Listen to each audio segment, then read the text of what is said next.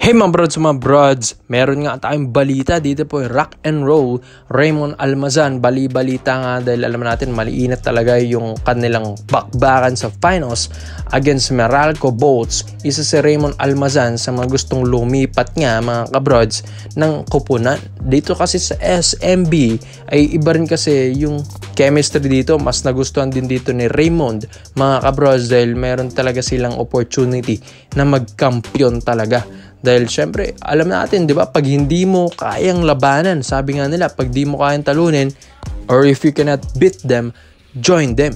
Kaya nga ito pong si Almazan ay binagbabalak nga rin or sabi rin sa mga reports natin na kukunin ito ng SMB once na magpalagay ito sa trading blocks ng Meralco Bolts. This video is brought to you by 1xbet. So matagal ko nang ginagamit ito mga brods at kumikita na rin ako dito kaya isi-share ko ito sa inyo kung saan ito pong 1xbet ay isang betting platform.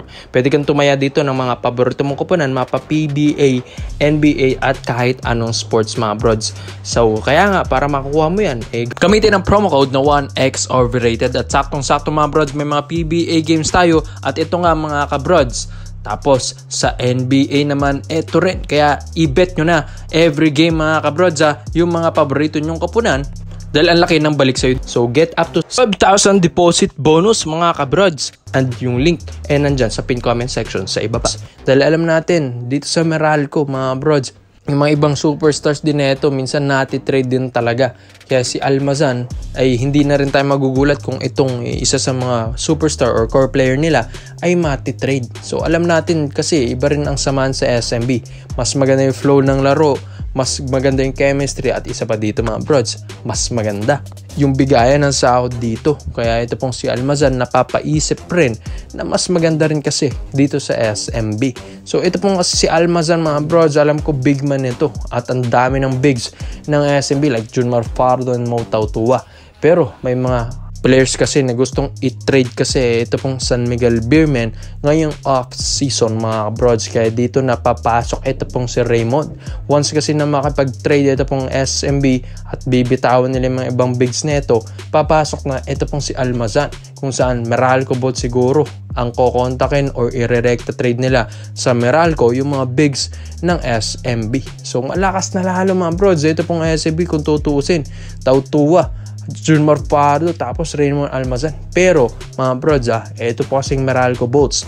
May hinihiling rin kasi sa SMB. At isa nga lang din kasi ang hiling nila, bibitawan nila si Almazan, papapuntahin nila ito sa SMB pero bibitawan naman ng SMB. Ito pong si Mo Tautua mga bro. So si Tautua ang gusto ng Meralco Boats gusto nilang ibalik din ito sa MVP group. Ito pong si Tautua. So dito na mapapaisip ang SMB kung worth it ba na bitawan si Mo Tautua tapos kukunin naman nila si Rock and Roll. So mga brods, talaga medyo mahirap na decision yan pero para sa akin ha, siguro nga try rin ng SMB na mag-explore. Dahil ito pong si Tautua, more on body-body big man ito. Pero may shooting din ito. Pero si Almazan, more on perimeter na player. May shooting din ito sa 3 point area. Tapos, meron din itong footwork sa ilalim. Hindi nga lang kasing ganda ng footwork ni Mo Tautua. Yes, alam ko medyo talo talaga ang SMB dito sa trade na ito. Siyempre, Tautua na yan eh. Parang import na yan mga brods. Pero si Almazan kasi, more on teachable na player ito mga broads, magandang attitude, madaling eh, turuan at siguro nga mas matutulungan din niya si, si Junmar dahil best friend niya. Ito pong si Junmar Farder, di ba? Kapag nung nagpe-press con ng SMB tapos Meralco Bolts ng finals, talagang kaakbayan niya si Junmar Fajardo. Kaya ikaw mga brods ha, Raymond Almazan pero bibitawan si Mau Tautua. Sang-ayon ba kayo doon mga kabrods? So dito naman po tayo no, sa kabilang balita naman natin mga broads. May mga reports din tayo na parang pumapayag rin. Ito pong si Greg Zila, Greg Slaughter mga broads. Dito sa offer ng Barangay Nabra San Miguel dahil kamakailan lang din natin na report yung 1 million to 2 million pesos na magiging offer ng Hinebra kung sakali mang tanggapin yon ni Greg Zila. Dahil syempre sa agent din ni Greg Zila, alam niya na ito pong Manila Stars ay hindi naman pang long-term contract din ito. So, syempre, hindi rin mabibigyan ng magandang sahod ng Manila Stars ng pangmatagalan si Greg Slaughter dahil di naman din ganun kataasan yung budget din nila.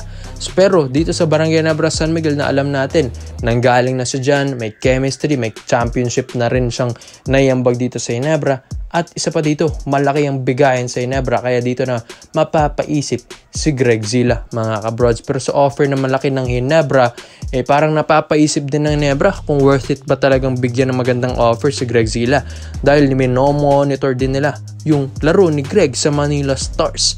Pero sa mga highlights, sa mga stats na binibigay rin naman ni Greg sa Manila Stars, medyo decente rin naman yun mga kabrods. Kaya napapaisip din ng Ginebra na parang gusto rin nilang ituloy yung offer kay Greg. So bakit nga ba gustong gusto rin talaga nilang makabalik si Greg Slaughter mga brods? Eh dahil nga, syempre may experience na sa Japan B-League, medyo mo okay at decente yung Manila Stars stats niya. Tapos mga brods, kailangan din ng Ginebra ng big man din talaga. Yung pagkatalo nila sa Meralco Bolts, talaga na tumatak na sa isip yun ng Ginebra. Nahirap din sila kay Brandon Bates. Eh, if ever man, kung nandyan talaga si Greg Slaughter, mga broads, eh mahirapan talaga yung mga ibang bigs kay Greg sa ilalim sa paint. Tapos mga bros, magkakaroon na rin tayo ng import conference next season. Tapos babalik na yung mga rookies na papasok sa PBA. Kaya dito na, magpapalakas lalo ng ilalim ang Barangay Nebra San Miguel dahil sa mga highlights na nakikita nila at nire-review nila, hirap talaga sila si Stand and Japet Aguilar sa ilalim. Kaya ito pong si Greg Zila, eh malaking tulong ito mga brods, di ba? Dating Twin Tower ito. Japet Aguilar and Greg Slaughter. Talaga nahihirapan sila ito. Pigilan. Lalong lalo na si Jun Marfaldo mga pros. Pag ito yung nakatapat mo, ay hirap talaga kung paano depensahan. Ito pong si Yabay, si Duck Kraken, Jun Marfaldo mga brods.